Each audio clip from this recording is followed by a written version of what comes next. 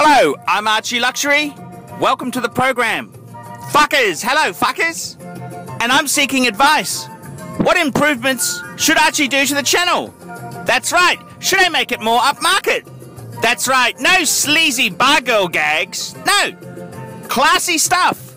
It's Archie Luxury. Tell me what you think I should do. Come on, come on, tell me what you think I should do. I want to hear from you guys there. What ways should I improve the channel? The ratings are slipping.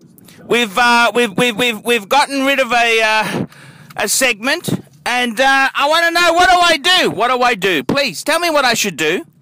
I gotta I gotta keep this upmarket upmarket flavor going, and I, I want to hear from the audience.